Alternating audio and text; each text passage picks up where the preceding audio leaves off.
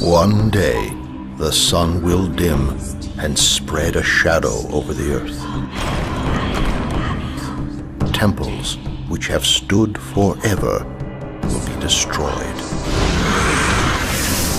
The heavens will vanish and the gods will fall upon the earth. It is in these darkest times that the strongest of heroes are born.